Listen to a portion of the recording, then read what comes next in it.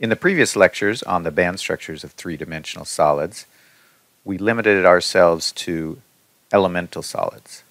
In this lecture, we're going to expand out to crystals that have more than one element, and at the same time, we're going to introduce transition metal ions that have d orbitals. Now, if I would take you back to this slide, which is the slide I used to introduce our whole study of electronic band structure, at that point in time, I said the goal is to go from this molecular orbital diagram. Here, the molecular orbital diagram on the left is for an octahedron, to a three dimensional solid that has this band structure diagram. And the illustrated band structure diagram I used in that first slide of chapter 6 was the band structure diagram for rhenium trioxide. So now we are in a position to look at this and to understand this band structure diagram. And I think we can feel good about that progress. Let's start with the crystal structure. So rhenium trioxide, which we talked about back in chapter 1, has a primitive cubic Bravais lattice. It's a very simple structure. We're going to put a metal on each corner of the unit cell, and then we're going to put an oxygen at the center of each edge of the unit cell. And if we were to build out multiple unit cells, we get this structure shown over here on the left, which is an infinite network of corner connected octahedra. So each rhenium is six coordinate, and each oxygen is two coordinate. Rhenium trioxide itself is kind of an exceptional compound from the point of view of its electrical conductivity. In this table on the lower right, I'm comparing the room temperature conductivity of rhenium trioxide with several metals. So we can see it's not as conductive as the most conductive metals like silver and copper. But on the other hand, it's substantially more conductive than early transition metals like titanium or manganese, or even post transition metals like bismuth for an oxide compound, which we would normally think of as being an ionic compound, it has exceptional electrical conductivity. Now, the rhenium trioxide structure is very closely related to the perovskite structure. And in this view here, you can see that similarity.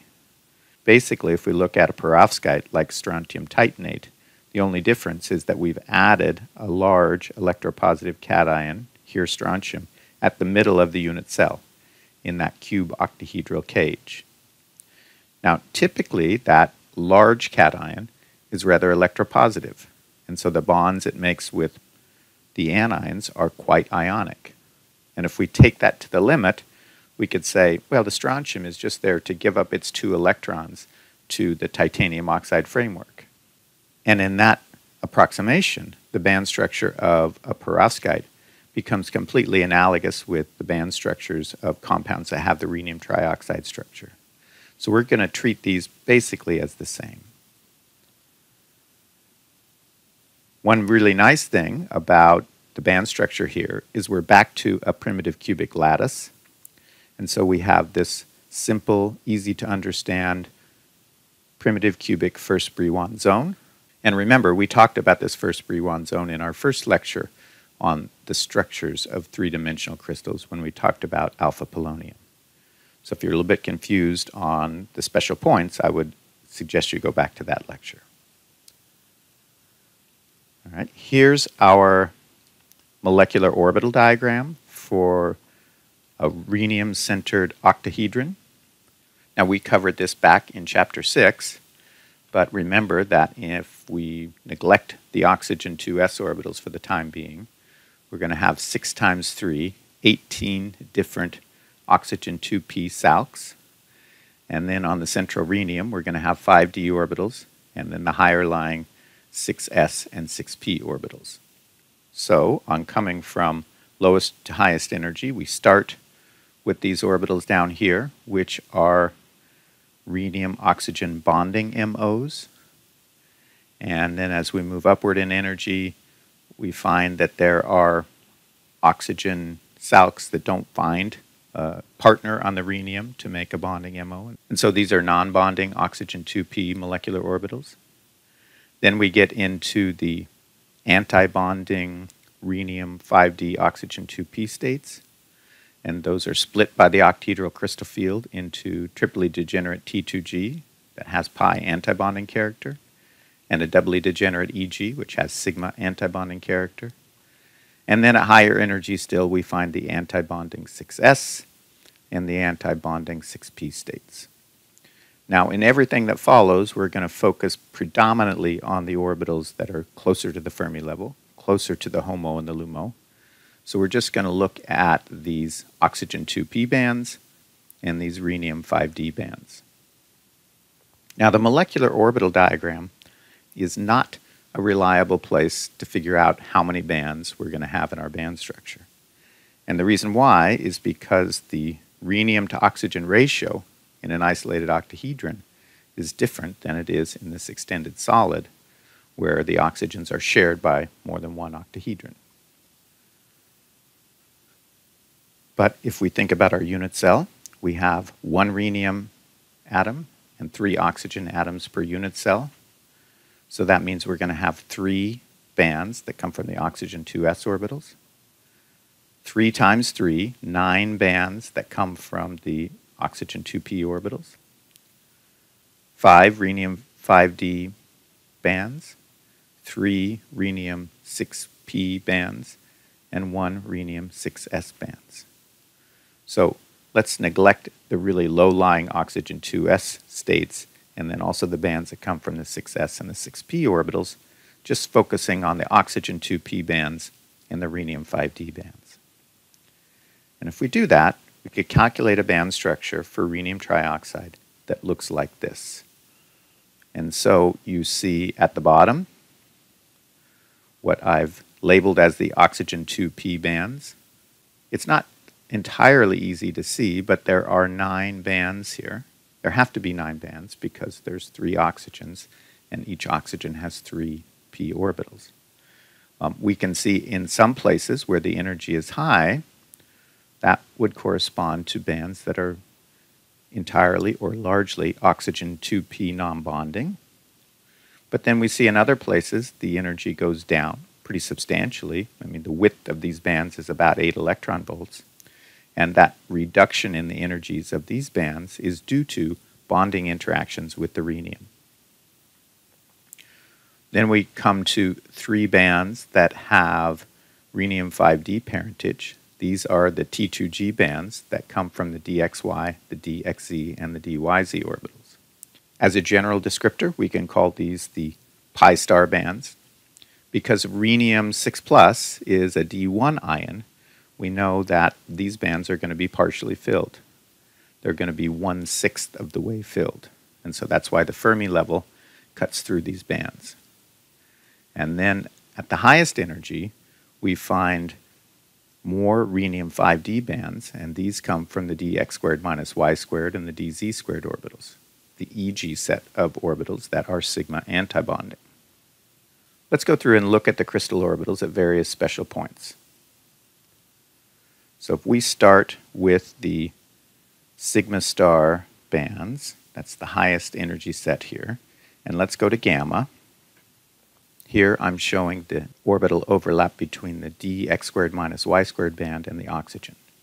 And as we discussed when we did our copper oxygen layer, the 2p orbitals on oxygen cannot mix with the dx squared minus y squared band at gamma but we do get a, some contribution from the oxygen 2s, which I've shown here. And so that makes this crystal orbital weakly antibonding. If we were to move to the M point, we can see that the energy goes uphill substantially. And if we look at the crystal orbital, we can find that it is sigma antibonding at M. And so this large increase in the energy, which leads to quite a wide band, is due to the change from a state that is weakly antibonding between rhenium dx squared minus y squared oxygen 2s, and the weakness of the bonding is because the oxygen 2s orbital has a really poor energetic overlap with the rhenium 5d. Remember that the oxygen 2s states are tens of electron volts below the oxygen 2p states in energy. But when we get to M, now the 2p orbitals, which have a good energetic overlap with rhenium 5d, can interact in this sigma star fashion.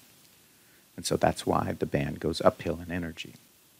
This analysis also allows us to say that of the two bands in the sigma star region, this band must be the dx squared minus y squared, which means by default, the other band here must be the dz squared. We see that they're degenerate at gamma, and they become degenerate again at r.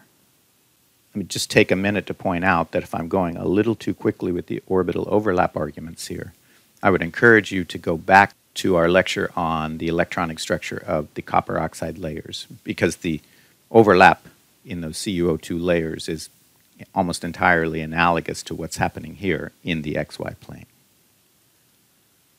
Let's now move on to the T2G bands, the pi star bands. And so if we look at gamma, we find that the dxy orbital by symmetry cannot overlap at all with the oxygen 2p orbitals, nor with the oxygen 2s orbitals. So this band is entirely rhenium 5d non-bonding. And I don't show the pictures here, but if we were to look at the DXZ and the DYZ bands, they would also be completely non-bonding in character, and that's why all three bands are degenerate at gamma. If we move to the M point, now we can get this anti-bonding pi character. And so that leads to a significant increase in the energy.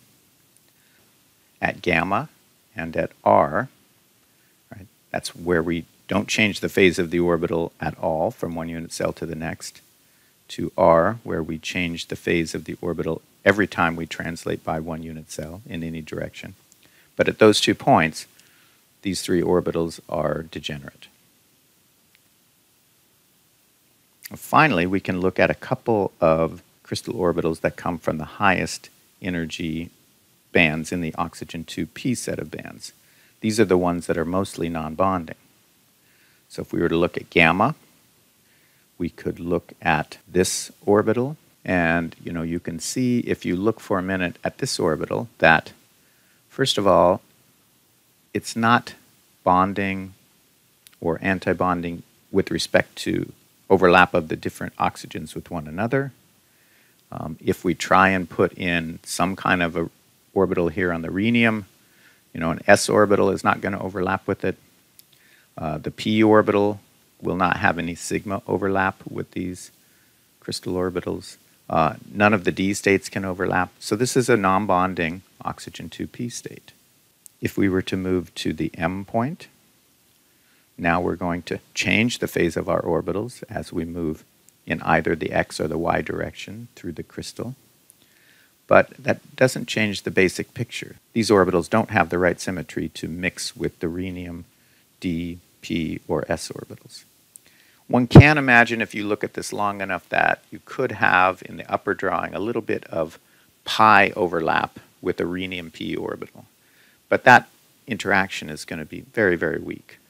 But that's enough to explain why we get just a slight change in energy when we go from gamma to M to R. This perovskite band structure is kind of special because if we look at certain energy differences, we can learn important things about the bonding here. If we were to go to the R point, where both the T2G and the EG orbitals are entirely antibonding with their neighboring oxygens, well, the energy splitting between these two sets of orbitals is exactly the same thing as the octahedral ligand field splitting. Right? So in that MO diagram of the molecule, the splitting we saw between the T2G and the EG antibonding orbitals is going to be exactly this energy in the three-dimensional band structure. If we were to go to gamma, remember I showed you that at gamma, the oxygen 2p states are non-bonding and the rhenium 5d states are non-bonding. And so this energy difference here is almost a perfect charge transfer energy to take an electron from a non-bonding oxygen orbital to a non-bonding rhenium orbital. Now you might ask the question, why don't the sigma star bands come down to this non-bonding state here? And the reason why they don't is because of that anti-bonding interaction with the oxygen 2s. And so you can see that that's not insignificant because it raises the energy here by several electron volts. And finally, we can look at the difference in energy between the highest lying state in the oxygen 2p bands and the lowest lying state in the rhenium 5d bands. That's not at gamma, that's actually from R to gamma. So this isn't particularly important for rhenium trioxide because the Fermi level is cutting through the bands up here. But when we go to perovskites or ReO3 structures where the central transition metal has a D0 configuration, this will become the band gap. Uh, so something like strontium titanate. So in that case, you're going from oxygen to titanium. And so we can see that the band gap of compounds with the perovskite or the rhenium trioxide structures are inherently indirect because we never have the valence band maximum and the conduction band minimum at the same point. Now let's go just a little bit deeper and think about some periodic trends. So we're going to use those special transition energies that I showed on the last slide. We're going to look here at four different cubic metal oxygen frameworks. And what I've done is to steadily work from right to left across the periodic table. So rhenium, one element to the left of rhenium is tungsten, then tantalum, and then hafnium. The charge of our central cation is 6 plus for these two uh, rhenium trioxide structures, but then 5 plus for potassium tantalate, 4 plus for barium hafnate. So what happens to the band structure when we make these subtle changes? I mean, qualitatively, it doesn't change at all. But there are some differences because we're changing the electronegativity of the central metal atom, and we're also changing the metal oxygen bond distances. And what we can see is that as the effective nuclear charge is decreasing, we see that the metal oxygen bond distance increases. We could say that there's less covalency between the metal and the oxygen. That's not too surprising, but that's going to do two things. Because the covalency is decreasing, the difference between a non-bonding crystal orbital and an antibonding crystal orbital is going to get smaller because the antibonding crystal orbital is going to be less antibonding. And we can see that if we look at the widths of the sigma star and pi star bands. They decrease as we make the bonds more ionic. And at the same time, we're also making them longer, which decreases the spatial overlap. We see the same trend for our octahedral ligand field splitting. Right, that's decreasing. And uh, we also see that the charge transfer energy is increasing. This doesn't have really that much to do with the covalency of the bonds, but just with the overall electronegativity of the central metal. And so you can see that the changes when you go from rhenium, three elements to the left, to hafnium are not small. These bonds are much, much more ionic in the hafnium case than they were in the rhenium case.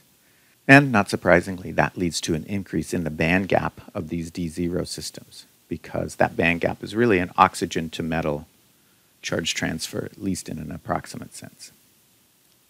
What happens when we move vertically in the periodic table? So I'm going to keep barium hafnate, and now I'm going to add strontium titanate. Titanium and hafnium are both in group 4. Right, that's titanium, zirconium, hafnium. And we see some things are the same, but some things are a little different here. Now, if we were to think about the electronegativity, actually sometimes when you move vertically in the transition metals, it's not that obvious how the electronegativity should change. So let's look at our charge transfer energy here. Our charge transfer energy goes from 4.1 in strontium titanate to 5.3 in barium hafnate. So what that's telling us is that titanium is more electronegative than hafnium. So the energetic overlap between titanium and oxygen is better than the energetic overlap between hafnium and oxygen. However, we also see that the bandwidth of the bands we see in barium hafnate is larger than what the bandwidth we see in the strontium titanate case, even though the energetic overlap is poorer. And the reason for that is because something we talked about back in chapter 5. The 5d orbitals are going to extend out considerably farther from the nucleus than the 3d orbitals on titanium. So we get more spatial overlap between the metal and the oxygen. And that increased spatial overlap is enough that it gives us wider bands. So we kind of have competing trends going on here. It's good to remember these competing trends when we come to the electrical properties of perovskites, which we're going to talk about shortly.